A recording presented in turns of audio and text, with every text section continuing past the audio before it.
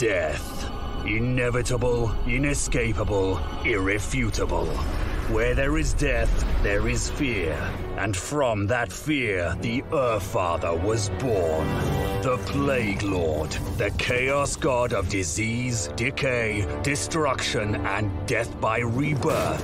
Nurgle is undoubtedly the oldest of the ruinous powers, for death and decay are as old as life itself. The garden and its continuous growth and care are chief amongst the Flylord's concerns. That prized garden, diligently nurtured and toiled, stands sullied under the presence of indolent hedonists, seeking expansion for their excessive and decadent domain.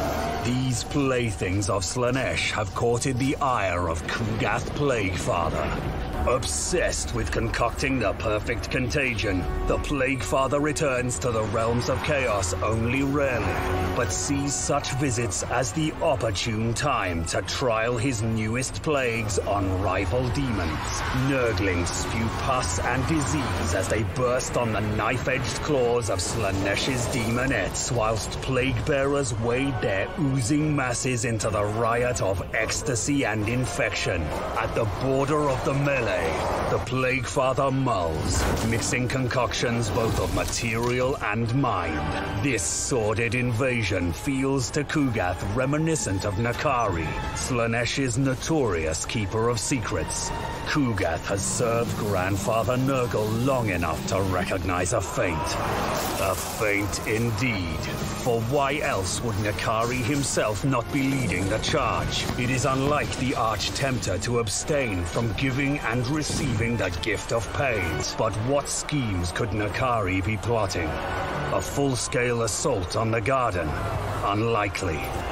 The feint here would suggest an attempt on Ku'gath's mortal territories. So it is the material realm N'Kari means to blind the Plague Father to. A valiant effort, but Ku'gath sees the truth eventually. Nurgle may be slow at times, but it's by design. Content with his assessment, Kugat means to end this distraction quickly.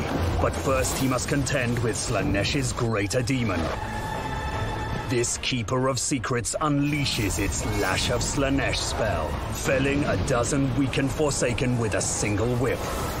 The mere act of witnessing the Keeper's power fans Slaanesh's lesser demons into a blissful rapture, injecting them with vigor and enhancing their martial prowess.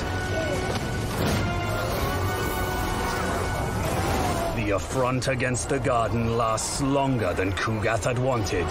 Indeed, he itches to return to the mortal realms to brew new plagues and discover N'Kari's schemes.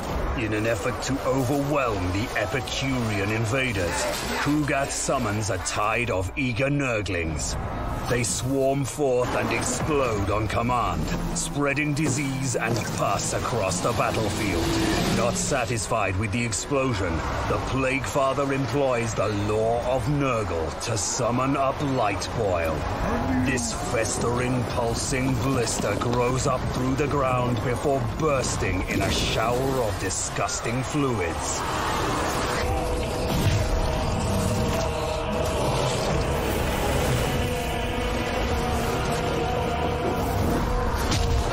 Slaanesh's demons wither and die beneath the strain of a dozen maladies.